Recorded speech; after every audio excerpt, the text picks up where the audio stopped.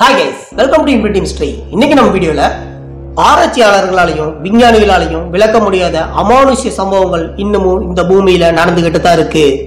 அப்படி நடந்த நிகழ்வுகள் ஒண்ணுதான் எஸ்கிமோக்களின் மலை கிராமமான ஆஞ்சின் குனியில நடந்த அந்த மர்ம சம்பவம். அந்த சம்பவத்தின் அமானுஷ்ய பின்னணியை பத்தி தான் இந்த வீடியோல பார்க்க போறோம். வாங்க வீடியோக்குள்ள போலாம். ஆயிரத்தி தொள்ளாயிரத்தி முப்பத்தி ரெண்டாவது வருஷம் கனடாவை சேர்ந்த ஜோ லெபன்கிறவரு நூராவுட் மலைப்பகுதிகளுக்கு நடுவே அமைஞ்சுள்ள ஒரு சிறிய மலை கிராமமான ஆஞ்சின்குனி கிராமத்துக்கு போறாரு. ஜோ எப்போதும் தான் வேட்டையாடும் விலங்குகளோட தோள்களை அந்த கிராமத்தை சேர்ந்த மக்கள் கிட்ட தான் வைப்பாரு. அதனால அந்த கிராமத்தை சேர்ந்த சில பேர் அவருக்கு நண்பர்களாகவும் இருந்தாங்க. அந்த கிராமம் மலைப்பகுதிகளுக்கு நடுவே அமைஞ்சிருந்ததுனால அந்த கிராமத்துக்கு போறது ரொம்பவே கடினம். அதனால அந்த கிராமத்துக்கு போய் சேரவே மாலை நேரம் ஆயிரும். இரவு நேரங்கள்ல அந்த மலைப்பகுதி வழியா திரும்பி வர முடியாததுனால ஜோ இரவு முழுவதும் அங்கேயே தங்கிட்டு காலையில திரும்பி வர்றதுதான் வழக்கம். அதே போலதான் ஜோ அன்னைக்கும் தான் வேட்டையாடின விலங்குகளோட தோலை எடுத்துட்டு அந்த கிராமத்தை நோக்கி போறாரு. ஜோ அந்த கிராமத்துக்கு அருகில போனதும் ஏதோ தவறா இருக்கிறத உணர்றாரு. அந்த கிராமத்துடைய வெளிப்பகுதியில எப்போதுமே சில மக்கள் இருப்பாங்க. ஆனா இந்த முறை அப்படி யாருமே இல்ல. தொடர்ந்து அந்த கிராமத்துடைய நுழைவயில் பகுதிக்கு போறாரு. ஆனா நுழைவாயில்ல காவலாளிகள் யாருமே இல்ல.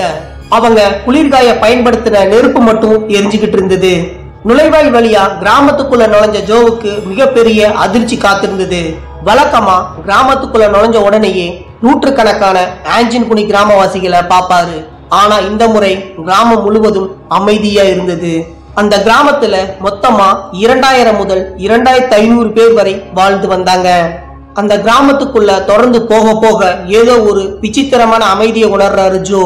அது மட்டும் இல்லாம அந்த கிராமம் முழுவதும் ஒரு அடர்த்தியான மூடு பணியால மூடப்பட்டிருப்பதையும் பாக்குறாரு. முதல்ல அவரு தான் வழக்கமா வர பாதையில வராம வேற ஏதோ தவறான பாதையில வந்துட்டோமோன்னு நினைக்கிறாரு. ஆனா அங்க உள்ள வீடுகளையும் அதனை சுற்றியுள்ள பகுதிகளையும் பார்க்கும்போது தான் எப்போதும் வர சரியான பாதையில தான் வந்திருக்கேங்கிறத உறுதி பண்றாரு. அவர் வந்த நேரம் இரவு நெருங்கிட்டதுனால மேலும் குளிர் காரணமா எல்லோரும் அவங்கவுங்க வீட்டுக்குள்ள இருக்கலாம்னு நினைக்கிறாரு. அதுக்கப்புறம் அந்த கிராமத்தை சேர்ந்த யாரோ ஒருத்தரையாவது பார்க்கணும்னு சொல்லி ஒரு வீட்டு முன்னாடி போய் நிற்கிறாரு ஆனா அந்த வீட்டில் யாரும் இல்லை. அதுக்கு பக்கத்தில் இருக்க வீட்டுக்கு போய் பார்க்கறாரு. அந்த வீட்லயும் யாரும் இருக்கிற மாதிரி தெரியல. எந்த விதமான சத்தமும் கேட்கல. தொடர்ந்து நடந்து கிராமத்துக்கு உள்ள போக ஆரம்பிக்கிறாரு. கிராமத்து உள்ள இருக்கிற வீடுகள் அனைத்தும் அமைதியாகவும் எந்த ஒரு சத்தமும் இல்லாம இருக்கு. ஜோ பயப்பட ஆரம்பிக்கிறாரு. தான் ஏதோ ஒரு மர்மமான சூழல்ல சிக்கி கொண்டதை உணர்றாரு. எப்பவுமே ஜோ அந்த கிராமத்துக்கு வரும்போது சில நண்பர்கள் வீட்டுல தங்குறது வழக்கம்.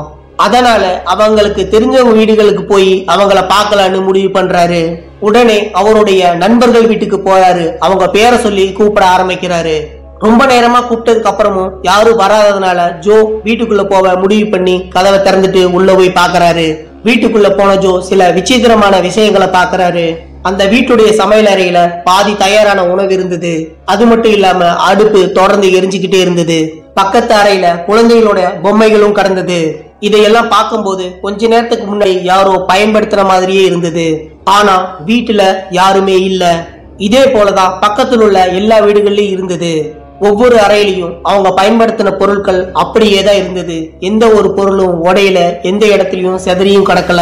பெரும்பாலான வீடுகளில் இரவு உணவு தயாரிப்பதற்கான வேலைகள் பாதியிலேயே நிறுத்தப்பட்டிருந்தது. அங்க இருக்கிற வீடுகள் எல்லாத்தையும் பார்க்கும்போது கொஞ்ச நேரம் வரைக்கும் அங்க எல்லோரும் இருந்ததுக்கான எல்லா அடையாளமும் அங்க இருக்கு. இந்த கிராமத்துல ஏதோ பெரிய அமானுஷ சம்பவம் நடந்திருக்குன்னு உணர ஆரம்பிக்கிறாரு. ஜோ உடனடியா அங்கிருந்து கிளம்பி டெலிகிராஃப் ஆபீஸ் போறாரு. அங்க இருந்து ஹீல்ஸ் போலீஸ் போர்ஸுக்கு தகவல் கொடுக்கிறாரு. போலீஸ் போர்ஸ் உடனடியா அந்த கிராமத்துக்கு போய் சேர்றாங்க. அவங்களும் அந்த கிராமத்தை சேர்ந்தவங்களை தேடி பார்க்குறாங்க. கண்டுபிடிக்க முடியல.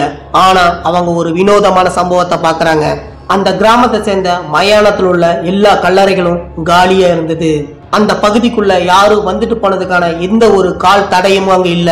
அந்த கிராமத்திலிருந்து கொஞ்சம் தொலைவில் இறந்து போன நிலையில ஏழு நாய்களுடைய உடல்களை மட்டும் கண்டுபிடிக்கிறாங்க. அந்த நாய்களோட உடல்களை பார்க்கும்போது தன் எஜமானரை காப்பாத்துறதுக்காக போராடி உயிர் விட்டது போல இருந்ததுன்னு போலீசார் குறிப்பிட்டிருக்கிறாங்க. அந்த கிராமத்துல இருக்கிற இரண்டாயிரத்துக்கும் மேற்பட்ட மக்கள் ஒரே நேரத்துல எப்படி மாயமாயிருக்க முடியும்? அது மட்டும் இல்லாம அவங்க பயன்படுத்தின பொருட்கள் அனைத்தும் அப்படியே இருந்திருக்கு.